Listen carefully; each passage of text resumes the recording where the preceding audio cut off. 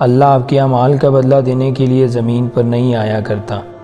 आपके माल और औलाद को आपकी आजमाइश बनाकर ही सारे बदले चुकता कर देता है। आप दुनिया वालों को हकारत से देखते हैं तो आपको ठोकरें लगवा कर उन्हीं दुनिया वालों का सहारा लेने पर मजबूर कर देता है। ज़िंदगी बहुत खूबसूरत है। सच तो यह है कि इंसान ही इंसान की दवा है। अगर कोई नफ़रत करता है तो कोई मोहब्बत देख कर हिसाब बराबर कर देता है। कोई रुलाता है तो कोई मुस्कुराने की वजह बन जाता है। कोई टोकर लगा कर गिरा देता है ना तो कोई इंतहाई मोहब्बत से सहारा बन जाता है। यही तो ज़िंदगी है। मेरा यकीन यह है कि खुदा से मांगते हुए हमेशा अपनी औकात भूल कर मौज उसका एहतियार जहन में रखते हुए दुआ मांगी जाए कि हमारी सोच, औकात, ख्याल और इरादा एक महसूस हद तक जाकर रुक जाते हैं।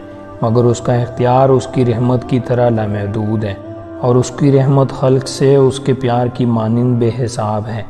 इसलिए जब भी मांगो उसकी सखावत और रहमत याद रखते हुए, अपने गुनाहों को, ताइयों और लफ्ज़ों को को अक्सर बुला दो और फिर उसकी अताओं का शुक्र इस कसरत से करो कि वो हमारी ख़ताओं पर हावी हो जाए, गालिब आ जाए।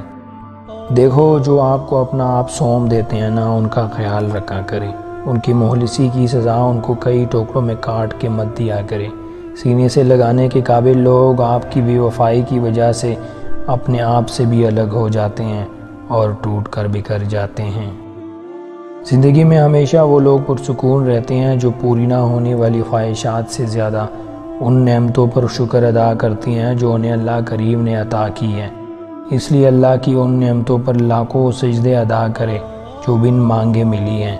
वरना अगर हमारे अमाल के मुताबिक मिलता तो शायद सिर्फ़ सज़ा मिलती।